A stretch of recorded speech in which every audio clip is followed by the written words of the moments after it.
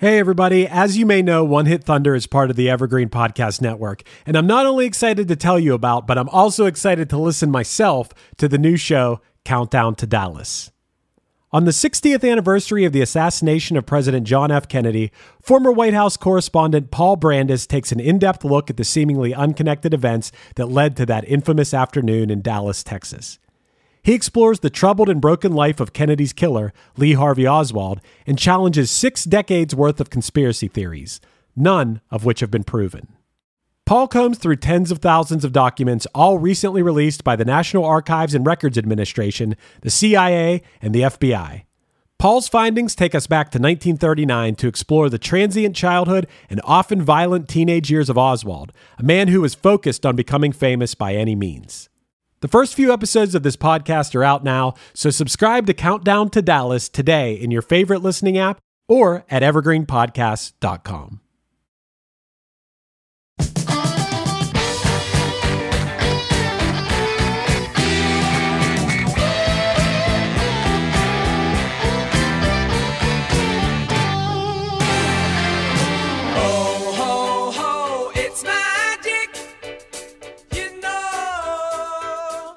This week, we're taking flight with the Scottish band Pilot and their timeless hit Magic.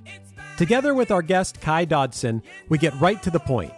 Does selling out and changing the lyrics to your hit to Hawk Pharmaceuticals change the legacy of a song? We also dive into Pilot's musical journey that intersected with an impressive array of legendary musicians and bands. Stay tuned to see if we think the sun should continue to shine on the creators of this pop gem, or if we think the magic is gone after we've heard the Ozempic commercial one too many times. Crazy music playing in the morning light. Ho, ho, ho, it's magic. You know. Never believe it's not so. One hit is all you need to make the money guaranteed. And you can live off royalties forever. And it makes me wonder is it just a wonder or is it one hit thunder? What's up, Kai? You're finally on One Hit Thunder. I can't believe it's taken this long. I am so excited. Genuinely, like, I know I told you, Matt, but seriously, one of my favorite podcasts. I, I listen to it as soon as there's a new episode. I cannot wait. I'm very excited about this. That's You're the last guest before episode 200, so that's pretty exciting too, actually. Wow. Made it just under the wire. Yeah. Just under the wire. you brought a little bit of a heater, too, and a song that has had a huge resurgence, which I'm just going to start by talking about this. Oh, oh, oh, Ozempic. you guys, you- It's so funny. it's Here's so funny. ridiculous. Here's the craziest thing though, Chris. Did you notice that like when I think of this song, I think this song's been in so many movies and TV shows and commercials. The Wikipedia page for this song is like barren. Hmm. Like it's like two lines about the meaning of the song. There's no tab about uses in media. I don't know if the band is just like we don't like publicizing Well, the stuff that this song was used in or what, but it, I thought that was so weird that there's nothing on that page. well, what else? There's one. I don't know what else it's been used in. Oh, I mean, I have a list here. It appeared in such movies as Happy Gilmore, Herbie Fully Loaded, Diary of a Wimpy Kid, and The Incredible Burt Wonderstone, as well as TV shows like Ugly Betty, Extras, and Las Vegas. Okay.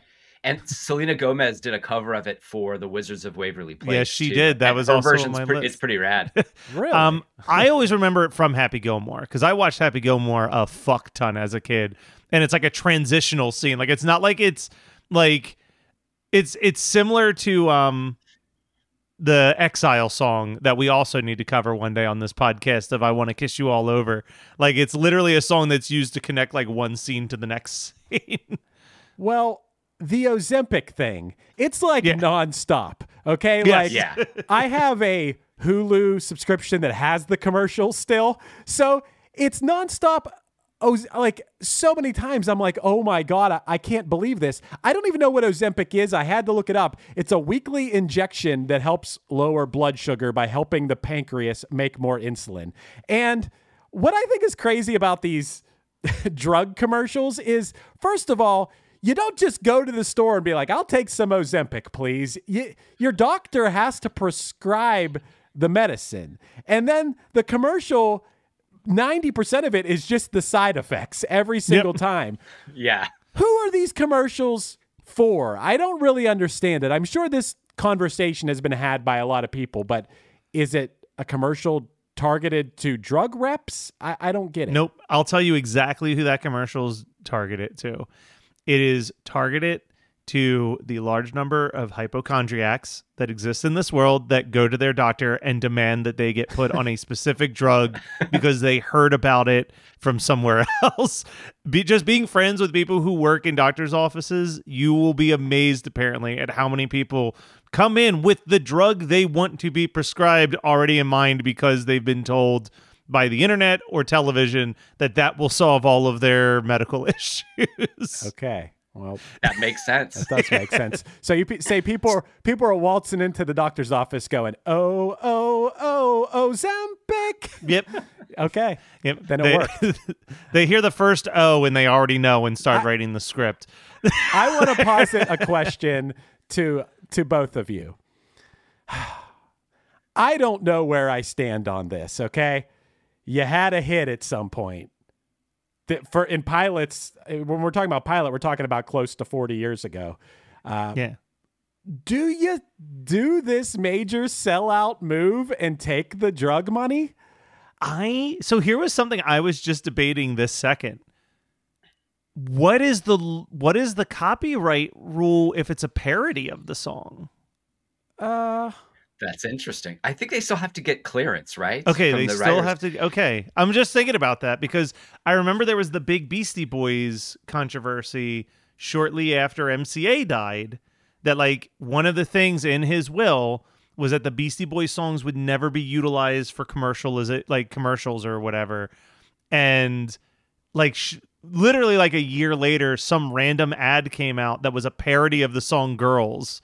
right. and the Beastie Boys had to sue them because they're like, "Hey, no, like we haven't explicitly said that our music is not for commercial use." But I also assume that there was an issue of them not running it past the Beastie Boys before they recorded, filmed, and released a commercial that was a two-minute parody of probably the song they hate the most in their Yeah. entire discography. right.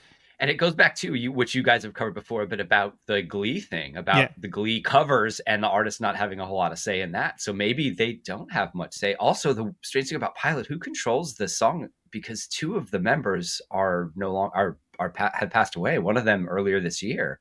Who, So which- I'm wondering, like, who? One of the founding guys is gone, and then I think the dr- the bassist I want to say is the, other one who the died. bassist who he was the main guy, and then also the uh the I want to say the guitar player. I think. Wow. Yeah, the lead So- guitar player slash multi instrumentalist, but So- not the other founding member. So David Yeah. Payton died, the guy who wrote the no, song? David Paton's alive. He's Billy Lyall is the one who Yeah. died. Because I'm pretty sure in the Ozempic commercial, it is David Paton. I, I mean, and I'll tell you this he hasn't been shy about doing parodies, even back when the song first came out. I was watching an interview with him, and I guess he did a parody for each radio station in the UK that was playing them, a version of the song that they could use uh, to promote the radio station where they he like said the name of the radio station in the song. And you know he's never been shy about doing that. So i'm pretty sure that this was a conscious choice and that's why i'm asking the question I don't know. I'm not in a financial position in life where if someone came to me and said, "Hey, we want to use a punchline song in a in a commercial for some Yeah, random we want to we want to use. Can I get a break for our Kit Kat commercial? Yeah, right. I well, but Kit Kat's a little bit little bit different because Yeah, because you're not giving into Agreed. pharma. Essentially, Yes, you're not, not- giving in. Yeah. the question is big pharma. It would be the same thing of like something that could be viewed as bad. Now, I don't know. I'm not saying Ozempic, for all I know, it's a great drug that helps people. But in general, there's a yeah, heart transplant for a blood pressure medicine. Or yeah, something. I- it feels sketchy. That's a great question. I think I would have to wait until I was put in that position because my instinct is no, absolutely not. But then, like you said, if Pfizer comes along and is going to offer me a million dollars, I would probably say absolutely. yeah, let's I mean, it. it's hard to turn it. You, I guess if you're a if you're Taylor Swift, you don't need the money. But if Yeah. you're somebody who had a hit 40 years ago and you, you're getting moderate royalty checks and they can't really live on, and you could be comfortable because of this one choice. But on the other hand, too, for me, I don't know, man. It kind of ruins the song. I think Yeah. Yeah. I think oh oh oh oh Zempic before I think oh oh oh it's magic. I really do now at this point. so That makes sense. it's it's an interesting question. I don't know. I would probably lean towards taking the money, but that's only because of my you know my band having no hits and also uh, my Same. my personal financial position. So I, I guess it just depends. I don't know what kind of royalties. This song to me seems to have never gone away, but I don't know what that means financially for David Paton.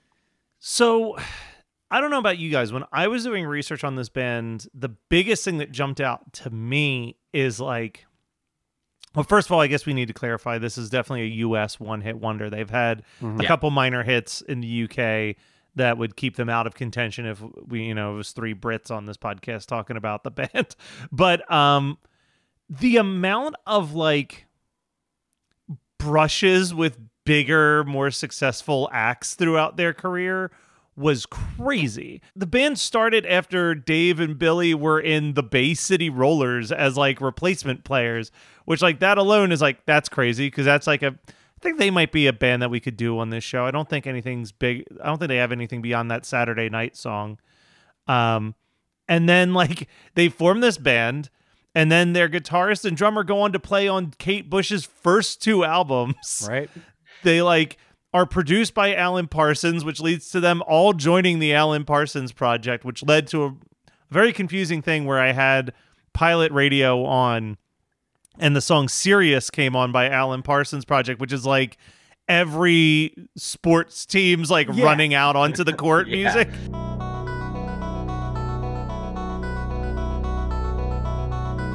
And I was like, holy shit, Pilot wrote this. You said that. You said check out Alan Parsons' project Sirius, spelled S I R I U S, not Sirius. Like the radio. Yeah. Yeah. And I had I was like I didn't know what that song was. And the second it started, I'm like, oh yeah, of course this song. the song that every high school football team highlight reel is set to. But then also when when the band broke up, like the band breaks up, the drummer joins 10cc, which was never like a huge band, but like I fucking love 10cc. Their album I Sheet too. Music is like a masterpiece of songwriting. And then Billy goes solo and Phil Collins is the drummer on his solo album in like 1978 when like Genesis is still like the prog band that like your favorite band is listening to. Like Genesis is not Genesis of the 80s just yet. Like it is crazy the amount of like connective tissue that this band has had with like all of these other bands in Europe throughout their their fairly short career, like a 6-year run. like, mm-hmm. Yeah, really like four records, but only three of them with the real band. Like then Yeah. two of the guys left. I think it's an interesting thing where I feel like bands start in sort of two ways. Either you start a band with your friends, people that you know that are around you, or you start a band where you just get ringers and you do like the session guys form this super group. And this is absolutely a, one of those Yeah. session guys that just knew each other through the circuit and like, oh, we need a drummer. Okay, there's this. I know this ringer, you know, from over here. this is definitely that band, and it worked. Yeah. And I think, but I also think that those bands have the shorter lifeline. I Totally. I think that there is something to be said about like even the Beatles. I feel like I bring up the Beatles a lot because the Beatles is like arguably the greatest band in the world. They just released another single, which is insane to say, and they've had like an insanely short career, right? They they're like ten years total, I think, from start to finish, and like however many albums they did in that time. But I wonder if that band would have even made it 10 years if Paul and John didn't grow up as like friends that went to school together and like decided to form a band together. Like if they were just like dudes who had different bands that crumbled and just said, fuck it, we'll write some music together. Like maybe we only gotten like two or three because everything I've heard as a non as the non musician here, but from everything I've heard from any musician I've ever been friends with, spending three to four months in a van with a bunch of people, like it is a test of any relationship, be it your best friend or a total stranger. So you need those like positive memories to really keep you going that you might not have if it is, as you said, just a ringer. Like it's like as soon as you get annoyed with them, it's like, well, fuck you, I don't need this. and then you just leave. Totally. I think money is a big factor in those situations Yeah. too, because when you're a session, if you're a top session person, you can probably make a lot more money just being in the studio or going on tour with somebody than going club to club. If you, you know, you make two or three records and you just never quite break through, you've got to follow the money if you can. It- Versus when you're, you know, like Chris and I, like when you're with your friends, that's all I know. Right. All I know is how to The- do that with those people. the ringer lifestyle is one that's foreign to me, but not foreign to everyone I know. I know lots of people who, yeah, you you go do the thing because you're getting paid to do it because you're good enough. And I don't know what that's like. I only know, you know, putting my all into a band that you hope to break even. you know, like how long Yeah. that's been my life. You you hope to make a few bucks or, or break even, but the the uh the goal, the collective goal, the the drive, that's what keeps you going. I don't know separating yourself as being like this is just a paying gig, it feels feels pretty uninspired and yeah, it probably would lead to things not lasting that long. When it comes to Pilot, I got to say they are as one hit wonder as it gets. If you go, I use Apple Music. I know a lot of people use Spotify, but when you go on Apple Music and you look at Pilot, seven of the top eight songs that come up are magic or versions of magic. Yeah. And, you know, in the UK, January, the song January actually went to number one in the UK and it didn't even crack, it barely cracked the top 100 in the United States. yeah, it was like it's 87 or something was Yeah. where it peaked. It was not very strong. Spotify's not too far off from there. I think of the top five that it shows you, two or three were different versions of Magic. Obviously, January was up there as well, and then like one other random B side. I'll tell you something that caught me off guard though with this band is I feel like I in my brain because I haven't listened to the song in forever. So when I was thinking of Pilot Magic, and maybe it is because of the commercial you were talking about, I was like, all right, this is like very soft. Like I almost was thinking I was going to hear a bunch of music that sounded like Dreamweaver. You know what I mean? Like just like very atmospheric, like piano driven, like you know, easy listening adult contemporary 70s rock music. But I was like fairly shocked to hit play on some of these other songs and be like, wow, this has got like a Queen influence to it. It's got it's got like that very you can tell that these guitarists are good guitarists. Like it's these really unique guitar parts where it's not like a catchy riff. It's like a very intricate like guitar part that they're playing in tandem with each other. Um, guitarmony is the phrase I've heard people use, but there's a lot of guitarmony I hear in their songs, and like it's like this rocks more than I thought it was going to rock when I thought Yeah. about Pilot Magic. I was really shocked by that. you can see where they fit in with like 10cc too. I mean, it's that same. The, 100, the arrangements are so tight, and there's definitely some. They're showing off a little bit, but not so much as to step on each other. I mean, their arrangements are so tight, and the fact that they can pack so much into their, you know, their songs are mostly three, four minute songs, but they feel proggy sometimes because there'll be so many parts, but they they figure out how to do that in a pop structure. It's fascinating. It's definitely 10cc is a good comparison just because like they both have this element of like these bands where there's probably a little bit of Zappa influence, but not to the point that it's like unfocused. Like I, I like Frank Zappa, but I feel like a lot of the music is like fairly unfocused when you try to listen to it and you have to I got a hot take on Frank Zappa. I think he's You don't like him. I think he's terrible. terrible. I tried. I tried. He's such an influence on so much so much stuff that I love. And then or you know, I've heard these artists that I love say that he was an influence. And I go try to listen. I'm like, this is bad. This is not good. Yeah. I, unless I'm missing something. Unless I'm missing I, I mean, if you listen to something like Saint Alfonzo's Pancake Breakfast, like it's undeniable how much that song influences like someone like Les Claypool. At St. Alfonzo's pancake breakfast, where I stole the margarine. where it's just like a two minute song that's so weird. There's no fucking time signature anywhere to be found. I love it's like, weird. I love Yeah, weird. that's what I love, mean. I love Ween. I love Primus. I love this stuff, but Frank Zappa just doesn't do it for me. But maybe I, haven't heard the right stuff. We've said this before, though, Chris. Sometimes it doesn't help to be the first person to do something. Sure. so, so I think that Frank Zappa is a lot of the first person to do this stuff, and then you have people, bands like 10cc, or then in the '90s, bands like Ween and Primus, who like look at that and are able to boil it down to like same thing with like a band that.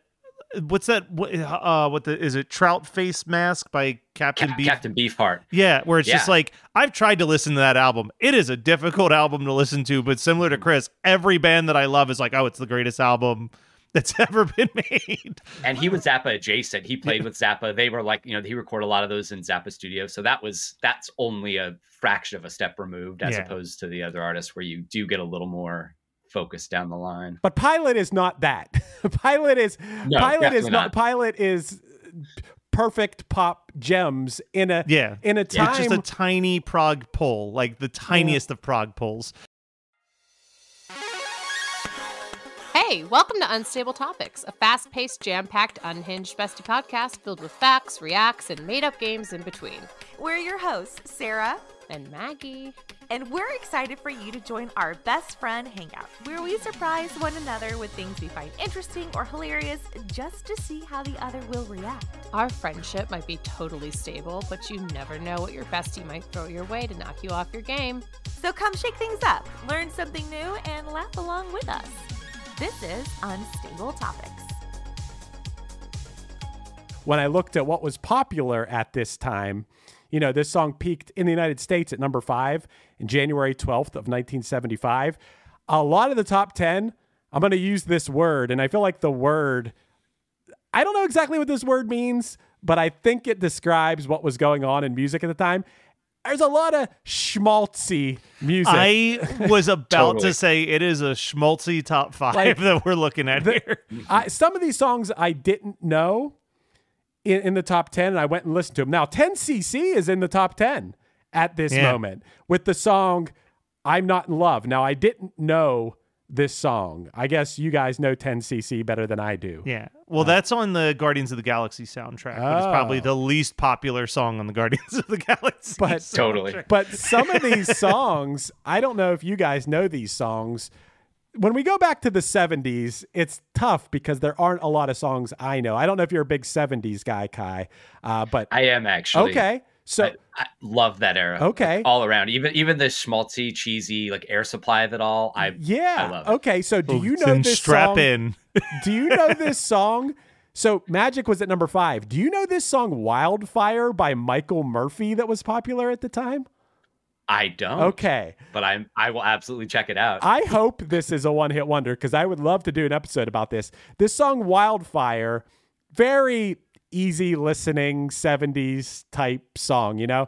But I had to mark down some of the lyrics in this. It's called Wildfire, and these are some of the lyrics. On a pony she named Wildfire, with a whirlwind by her side on a cold Nebraska night. Oh, they say she died one winter when there came a killing frost, and the pony she named Wildfire busted down its stall. In a blizzard, he was lost. She ran calling Wildfire is the is the chorus of this song. And I just I was like, wow, what is what is this song? And how have I never heard this song about a pony before? Thought it was interesting. That sounds like some some American Plains poetry. You could just Yeah. picture like someone in a covered wagon at night by a fire. I'm googling right now just to see if he's a one-hit wonder. And the I hope thing it starts off with was it says Michael Martin Murphey is an American songwriter and the founding member of the progressive country movement. okay. There you go. at this time, listen to what the man said from Wings. Uh, I had to go listen to this one too. It's I like it, but it's such like what people would complain about uh, as far as schmaltzy Paul McCartney Wings songs. Like, I, it's very adult contemporary, jazzy, upbeat, like using everything in the book, every production trick of that era in the song. I still like it. Uh, number two at this time is The Hustle from Van McCoy and the Soul City Symphony. And number one at this time was Love Will Keep Us Together from the Captain and Tennille, as schmaltzy as it gets, I would Yep. say. That's perfect. So, uh, So, it looks like Michael Michael Murphey had quite a few top 10 and top Okay. 20 hits. Well- so he will not be someone we cover. So we can deep dive into Wildfire all you want today. Well, Magic. my point about this is Magic kind of rocks compared to some of the songs that were Yeah. on the charts. As far as songs that were a little further down on the charts, but songs we all know. Jive Talkin' from the Bee Gees was number 22 at this time. Someone Saved My Life Tonight from Elton John is number 25. Pretty schmaltzy. Uh, Sweet Emotion from Aerosmith cracked the top 40 at this time. How Sweet It Is to Be Loved by You from James Taylor at number 43. A song I love at number 54 is Send in the Clowns from Judy Collins. Oh, it's Great. beautiful. It's one of the Yeah. saddest songs from a musical ever written. Uh, that song is so so sad. yeah. But as far as rockin' stuff, at number 59 was Feel Like Making Love from Bad Company. And at number 60 at this point was Ballroom Blitz from Sweet. So there was some more rockin' stuff. It was a little further down. Uh, but Magic, as far as the top 10, was definitely the most rockin' thing, even though it's pretty much just straight pop at this time. and they really blend all of that. I mean, they do have a definite adult contemporary 70s Mm-hmm. singer songwriter vibe and a lot of the vocal melodies, I think. But Yeah. then the music is guitar and piano forward, but the piano is very rock piano, you know, very, you know, quarter notes really going for it. But that they really blend what was happening then. You think about like disco and adult contemporary and then serious guitar rock was all Yeah. that's really what was existing in American music. It's that's probably why Pilot got as far as they did here with that. It was perfect timing. I probably, if I was growing up, if I was 13 years old in this era, Pilot probably looking at these charts would be what I was listening to, I think. Yeah. The only other thing that I have in my notes that we have to bring up though is what this song is about. Okay.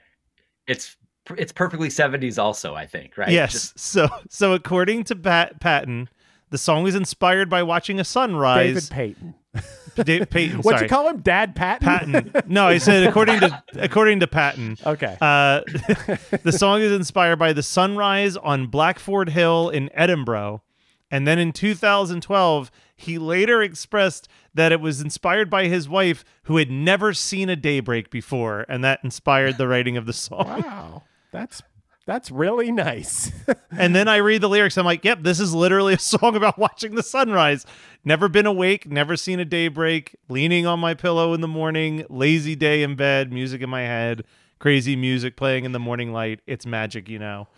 Wait a minute. Back up. This woman was old enough to be married and had never seen the sun come up before. that she does live in in scotland you have to keep in Yeah, mind Okay. that is fair. like okay. All right. Uh I love my sunny day, dream of far away, dreaming on my pillow in the morning, never been awake, never seen the daybreak, leaning on my pillow in the morning light. I didn't know if this was like a room type situation or something. I don't want, I want to make that. It's a bad joke. I'm sorry. Uh, did, did you guys watch any live videos, or at least the fake live videos from like the Top Pop thing and whatever? Did you see any of them?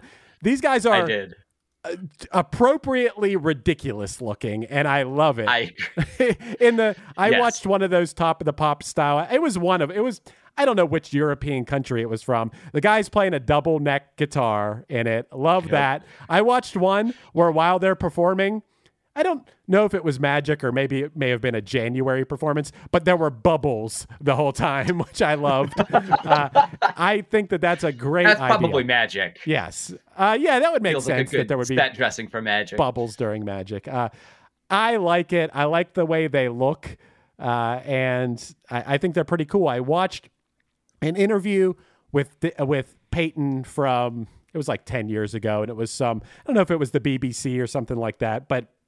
He's a delightful guy. He is smiling Yeah. the whole time. He is enjoying talking about the song. Uh, I saw that as a lot of artists do these days, maybe even some of our friends do.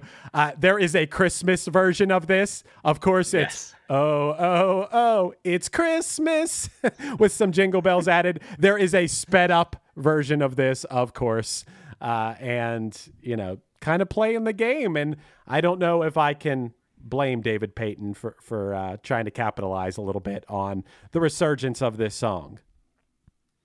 Yeah, I also you- saw they went back like 10 years ago and did the thing that you know a lot of artists are doing where they took their five biggest songs and they re-recorded them so they could own the masters. Yeah, I like and that. Just and so, you know, now anywhere you hear magic, hopefully next time there's a placement that's not the Ozempic placement, it's their version. So he, you know, they Yeah. get all the money. Yeah, that's cool. And he wrote this song too, to be fair. I guess he was the primary songwriter on it. So Yeah. he Yeah. was probably the one that licensed everything. It's definitely interesting to look at the pilot Wikipedia page because it has current members and past members, and current members is just David.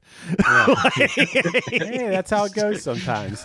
he's just Yeah. he's just keeping the name alive doing i'm sure he grabs some touring musicians we were talking about hired guns like Yeah. Why probably not? just hits the road with some hired guns sings his heart out and then Yep. yeah Pro- probably Collects that- part of, part of a 70s a 70s package. Uh, my question now to you guys: Are you guys ready to play a game? Oh yes yes yes Is this Saw? Uh, saw, yes, saw. yeah. Uh, Your no, room is a trap. this is a this is a much safer game than saw. But basically, I'm going to read a question. If one of you guys knows the answer, you buzz in by saying Ozempic. okay because because this game is all about songs that were used or parodied in commercials. So, are you ready? okay Ready. Here we go. Zillow used a song by this indie darling to pack emotion into a commercial that shows what it's like to pick your first home. do you have multiple choice for these No. If you don't know it, you don't know it. I don't know it. yeah i think i'm also on a don't know it Okay, it was Bright Eyes, First Day of My Life was used in a oh Zillow my god that's right Wow. I, I saw that commercial recently and thought bright eyes no Okay, no score. This bearded rocker's voice was synonymous with Chevy trucks from 1991 until uh, 2014. ozempic ozempic oh man, I was close. I'm gonna give it to our guest, Matt. okay fair Bob Seger. You got Yeah, it, like, a rock. All right, Kai, you got it. That was a close one though.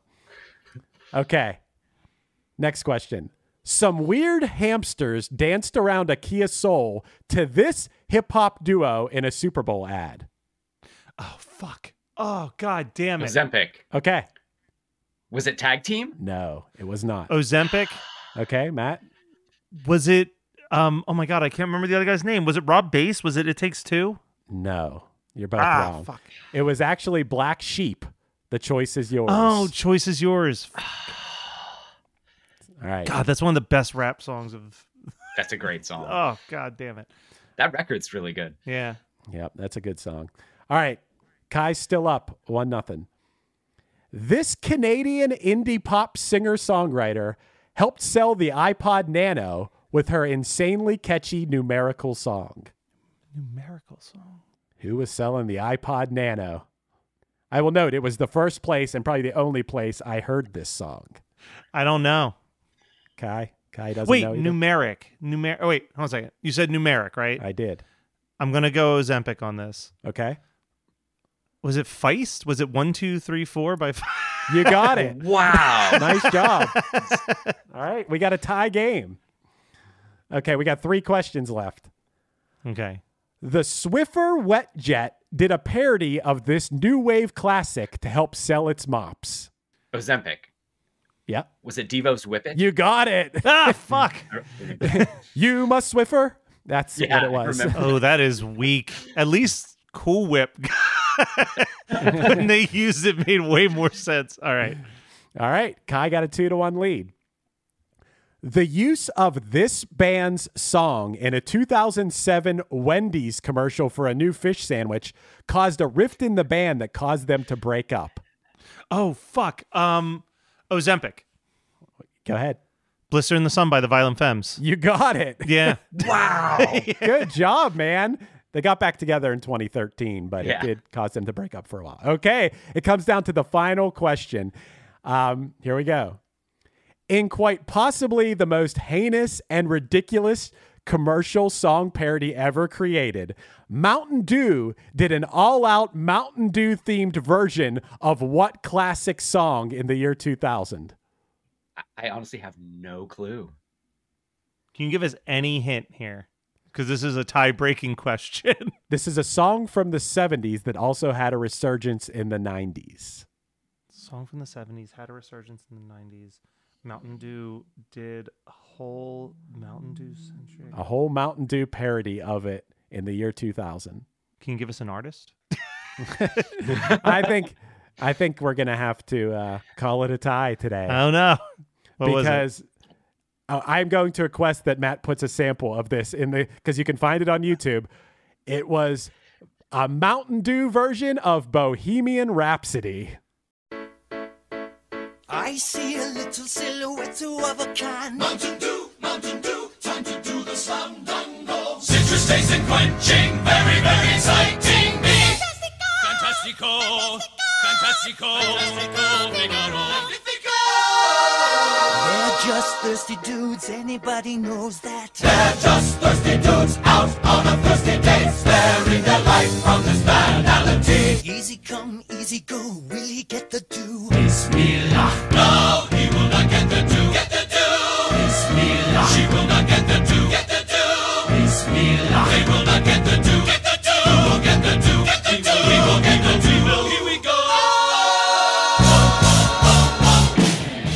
What?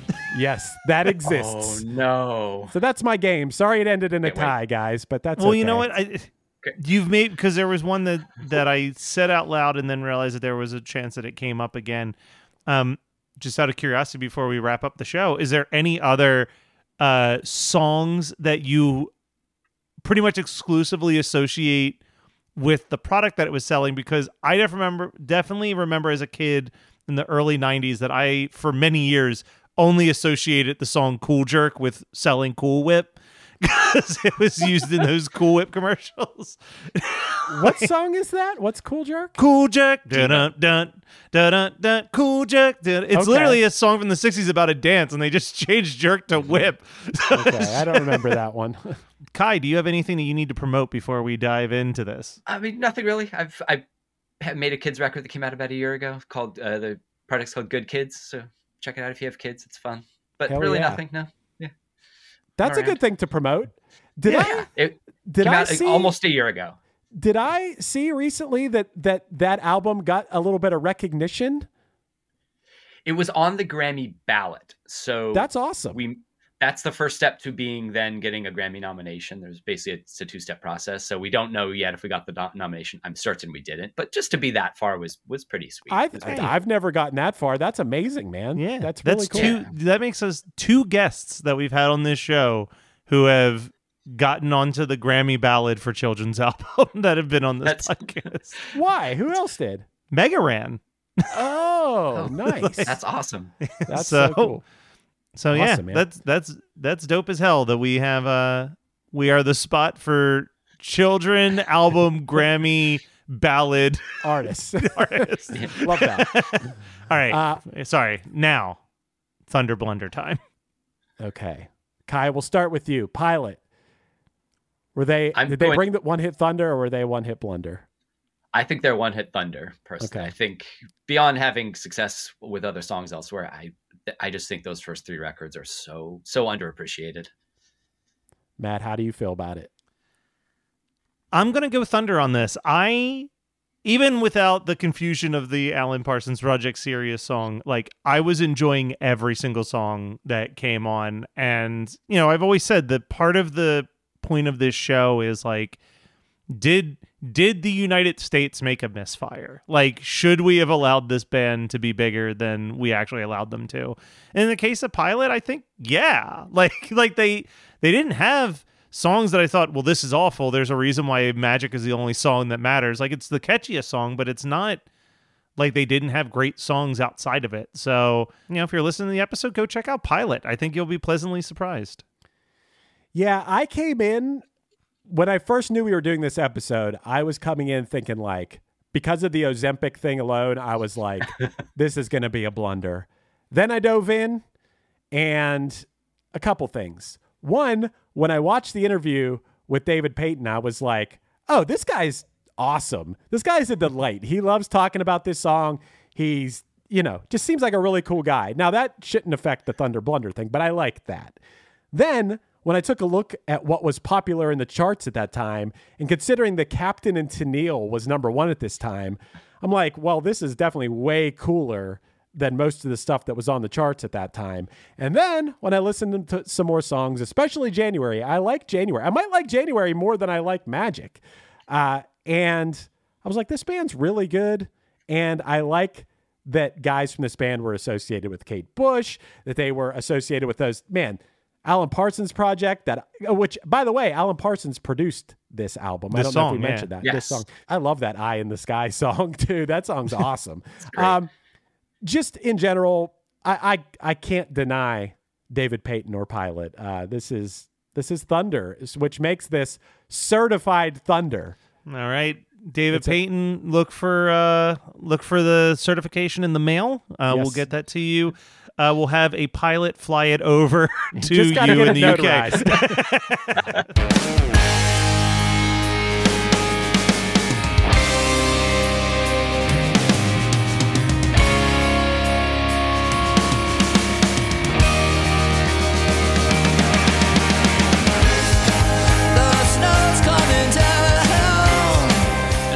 This has been One Hit Thunder. One Hit Thunder is hosted by Chris Fafalios of the band Punchline and produced by Matt Kelly of Geekscape.net. Underneath me, you're hearing the Punchline cover of Christmas Baby Please Come Home off their new album Holiday Hits, which is available on TDRRecords.com. Also, check out Punchline.com for any upcoming news of the band. Our podcast is on Patreon now. Find us at patreon.com backslash OHT podcast for early access to episodes, bonus conversations, and a chance to vote on future songs for us to cover. Be sure to rate, review, and subscribe to us on any podcasting app, and tune in next week for more One Hit Thunder.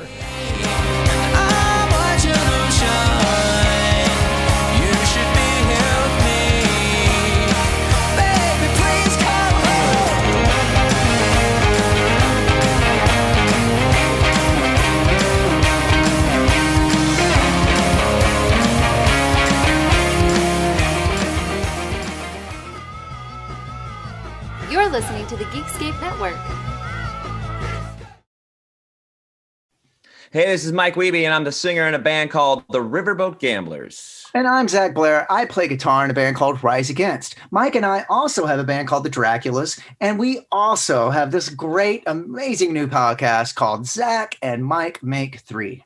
Yeah, each week we're going to ask ourselves and we're going to ask our guests what three favorite things they are into at that moment or in their entire lives. And then we're either going to agree with them or we're going to make fun of them. And uh, you're going to listen to it and you're going to like it, or we will make fun of you. How about that? I just flipped it on you, the person listening to this right now. But we're going to do it every week here on the Sound Talent Network. Once again, it's called Zach and Mike Make Three. Yeah. Hello out there. Yes, hello out there, everyone. I'm Hal Schwartz. And I'm Flynn McLean. Together, we host None But the Brave, a podcast dedicated to the music and career of Bruce Springsteen. Bruce and E Street Band are on tour right now for the first time in six years, and we're taking a detailed look at what's happening on stage in our bi weekly episodes. We've also been recently joined by some very exciting guests, including rock journalist Warren Zanes and Steven Hyden, Backstreet's Magazine founder Charles Cross, and Barstool's Kirk Minihane. If you're a diehard Springsteen fan, this is the show for you. So please subscribe to None But the Brave on your favorite podcasting platform, and we hope to see you further on up the road. Thank you so much. We'll be seeing you.